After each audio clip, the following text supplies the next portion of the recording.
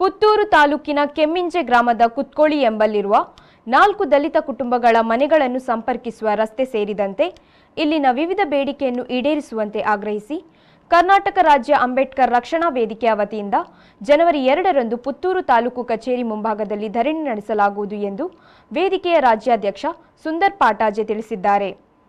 ಅವರು ಪುತ್ತೂರು ಪ್ರೆಸ್ ಕ್ಲಬ್ನಲ್ಲಿ ಸುದ್ದಿಗೋಷ್ಠಿಯಲ್ಲಿ ಮಾತನಾಡಿ ಕುತ್ಕೋಳಿಯಲ್ಲಿ ಸುಮಾರು ಇಪ್ಪತ್ತೇಳು ಸೆಂಟ್ ಸರ್ಕಾರಿ ಜಾಗವನ್ನು ಅಕ್ರಮ ಸಕ್ರಮ ಯೋಜನೆಯಡಿ ಜಯಲತಾ ರೈ ಎಂಬವರಿಗೆ ಮಂಜೂರುಗೊಳಿಸಲಾಗಿದ್ದು, ಈ ಜಾಗದಲ್ಲಿ ದಲಿತ ಕುಟುಂಬಕ್ಕೆ ಸೇರಿದ ಪರಮೇಶ್ವರ ಮತ್ತು ಇತರ ನಾಲ್ಕು ಕುಟುಂಬಗಳಿಗೆ ಮನೆಗೆ ಹೋಗಬೇಕಾಗಿದೆ. ಇದೀಗ ಜಯಲತಾ ರೈ ಅವರು ಈ ರಸ್ತೆಯನ್ನು ಮುಚ್ಚಲು ಮುಂದಾಗಿದ್ದಾರೆ. ಅಲ್ಲದೆ, ಸರ್ಕಾರಿ ಜಾಗದಲ್ಲಿ ಅವರು ಮನೆ ನಿರ್ಮಿಸುತ್ತಿದ್ದಾರೆ. ಈ ಬಗ್ಗೆ ಸಂಬಂಧಿಸಿದ ಇಲಾಖೆಗೆ ದೂರು ನೀಡಿದ್ದರೂ ಈ ತನಕ ಕ್ರಮ ಕೈಗೊಂಡಿಲ್ಲ.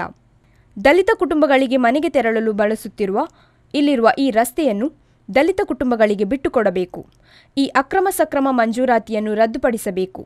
ಮತ್ತು ಜಯಲತಾ ರೈ ಅವರು ದಲಿತರಾದ ಪರಮೇಶ್ವರ ಎಂಬವರ ಅಡಿಕೆ ಕೃಷಿಗೆ ಹಾನಿ ಮಾಡಿದ್ದು, ಅವರ ವಿರುದ್ಧ ಕಾನೂನು ಕ್ರಮ ಕೈಗೊಳ್ಳಬೇಕು ಎಂದು ಆಗ್ರಹಿಸಿ ಈ ಧರಣಿ ಪ್ರತಿಭಟನೆ ನಡೆಸಲಾಗುತ್ತಿದೆ.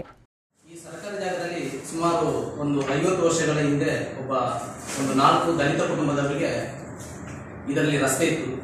ಆ ರಸ್ತೆಯನ್ನು ಏನು ಮಾಡಿದ್ದಾರೆ ಅಂತ ಹೇಳಿದ್ರೆ ಜಯರಥ ರೈ ಎಂಬುವರು ಅಕ್ರಮ ಸಕ್ರಮದಲ್ಲಿ ರೆಕಾರ್ಡ್ ಮಾಡಿ, ಅಕ್ರಮ ಸಕ್ರಮದಲ್ಲಿ ಅರ್ಜಿ ಹಾಕಿದ್ರು. ಅರ್ಜಿ ಹಾಕಿದ್ರು ಕೂಡ ಅದು ಎರಡು ಸಾವಿರದ ಏಳರಲ್ಲಿ ರಿಜೆಕ್ಟ್ ಆಗಿದೆ. ನಂತರ ಎರಡು ಸಾವಿರದ ಇಪ್ಪತ್ತೊಂದು, ಇಪ್ಪತ್ತೆರಡರಲ್ಲಿ ಅವರು ಮತ್ತೆ ಅಕ್ರಮ ಸಕ್ರಮದಲ್ಲಿ ರೆಕಾರ್ಡ್ ಮಾಡಿಕೊಂಡಿದ್ದಾರೆ ಅದೇ ಹೇಗೆ ಅಂತ ಹೇಳಿದ್ರೆ ಬ್ರೋಕರ್ ಇಟ್ಕೊಂಡು ಲಂಚ ಕೊಟ್ಟು ಅದೊಂದು ರೆಕಾರ್ಡನ್ನು ಮಾಡಿಕೊಂಡಿದ್ದಾರೆ ಅಕ್ರಮ ಸಕ್ರಮದಲ್ಲಿ ನಂತರ ಇವರು ಅದು ರೆಕಾರ್ಡ್ ಮಾಡಿದ್ರು ಕೂಡ ಇವರು ಪರಮೇಶ್ವರ ಅಂತ ಹೇಳುವವರಿಗೆ ಗೊತ್ತಿರಲಿಲ್ಲ. ನಂತರ ಇವರು ಏನು ಮಾಡಿದ್ದಾರೆ ಅಂತ ಹೇಳಿದ್ರೆ ಮಣೆ ಕಟ್ಟಲು ಮುಂದಾಗ್ತಾರೆ ಮಣೆ ಕಟ್ಟಲು ಮುಂದಾದಾಗ ಆ ಒಂದು ಬೇಲಿಯನ್ನು ತೆರವುಗೊಳಿಸಿ, ಅಲ್ಲಿ ಇವರು ಒಂದು ಇಪ್ಪತ್ತೈದು ಏನೋ ಅಡಿಕೆ ಗಿಡವನ್ನು ನೆಟ್ಟಿದ್ರು. ಆ ಅಡಿಕೆ ಗಿಡವನ್ನು ಏಕಾಏಕಿ ಜಯಲಲಿತಾ ರೈ ಎಂಬವರು ಕಡ್ದಾಕಿ, ಕಡ್, ಕಡ್ದಾಕಿದ್ರು. ಆ ಸಂದರ್ಭದಲ್ಲಿ ನಾವು ಪುತ್ತೂರು ಠಾಣಾಧಿಕಾರಿಗಳಿಗೆ ಮಾಹಿತಿ ತಿಳಿದು ಠಾಣಾಧಿಕಾರಿಯವರಿಗೆ ಒಂದು ಕಂಪ್ಲೇಂಟ್ ಕೂಡ ಮಾಡಿದ್ವಿ.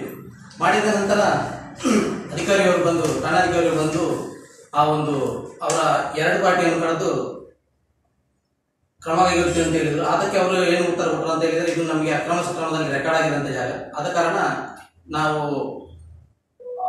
ಕಟ್ ಮಾಡಿದ್ವಿ ಅಂತ ಹೇಳುವಂತ ಮಾತನ್ನು ಅವರು ಹೇಳಿದ್ರು. ಆಮೇಲೆ ತಹಸೀಲ್ದಾರ್ ಹತ್ರ ನಾವು ಒಂದು ಮನವಿ ಕೊಟ್ಟಿದ್ವಿ. ಆದಷ್ಟು ಬೇಗ ನಮಗೆ ಅದನ್ನು ಪರಿಹಾರ ಕೊಡಬೇಕು ಅಂತ ಹೇಳ್ಬಿಟ್ಟು ನಂತರ ಏನಾಯ್ತು ಅಂತ ಹೇಳಿದ್ರೆ, ನಂತರ ಅವರು ಬ್ರೋಕರ್ ಅನ್ನು ಹಿಡ್ಕೊಂಡು ಸುಮಾರು ಒಂದು ಹತ್ತು, ಹದಿನೈದು ಜನ ಬಂದು ಗಾಡಿಯಲ್ಲಿ ಬಂದು ಆ ರಸ್ತೆಯನ್ನು ಬಂದ್ ಮಾಡ್ಲಿ, ಮಾಡಲಿಕ್ಕೆ ಮುಂದಾಗ್ತಾರೆ. ಆ ಸಂದರ್ಭದಲ್ಲಿ ಠಾಣಾಧಿಕಾರಿಯವರಿಗೆ ತಿಳಿಸ್ತೀವಿ ನಾವು ಠಾಣಾಧಿಕಾರಿಗಳು ನೇರವಾಗಿ ಬಂದುಬಿಟ್ಟು ಅಲ್ಲಿ ಅದನ್ನು ನಿಲ್ಲಿಸುವಂತ ಕೆಲಸವನ್ನು ಮಾಡ್ತಾರೆ. ನಂತರ ದಿನದಲ್ಲಿ ಕೂಡ ಅದೇ ರೀತಿ ಒಂದು ಹತ್ತು, ಹದಿನೈದು ಜನದ್ದು ಟೀಮ್ ಕರ್ಕೊಂಡು ಬಂದುಬಿಟ್ಟು ಅದೇ ರೋಡ್ ಬಂದ್ ಮಾಡುವಂತ ಕೆಲಸವನ್ನು ಮಾಡಿ, ಮಾಡಿರ್ತಾರೆ. ಆಗ ಕೂಡ ನಾವು ಕಂಪ್ಲೇಂಟ್ ಮಾಡಿದ್ವಿ. ಕಂಪ್ಲೇಂಟ್ ಮಾಡಿದ ಮೇಲೆ ಅವ- ಅವಾಗ ಕೂಡ ಅಧಿಕಾರಿಯವರು ಬಂದು ನಿಲ್ಲಿಸ್ತಾರೆ ಅದನ್ನ ಕೆಲಸ. ನಂತರ ತಹಸೀಲ್ದಾರ್ಗೆ ನಾವು ಒಂದು ಮನವಿ ಕೊಟ್ಟಿದ್ದೀವಿ. ಎರಡು ತಿಂಗಳಾಗಿ ಈಗ ಮನವಿ ಕೊಟ್ಟು. ಯಾವುದೇ ಒಂದು ರೀತಿಯ ಕ್ರಮ ಕೈಗೊಂಡಿಲ್ಲ ಅವರು. ಮತ್ತೆ ಈ ದಲಿತರ ಒಂದು ಒಂದು ಸುಮಾರು ಒಂದು ನಾಲ್ಕು ಕುಟುಂಬದವರು ಓಡಾಡುವಂತ ಒಂದು ರಸ್ತೆ ಇದೆ. ಅದನ್ನು ಏಕಾಏಕಿ ಅವರು ಬಂದ್ ಮಾಡುವಂತ ಕೆಲಸವನ್ನು ಮಾಡ್ತಾರೆ. ಈ ಅಕ್ರಮ ಸಕ್ರಮದಲ್ಲಿ ಕೂಡ ಹಾಗೆ.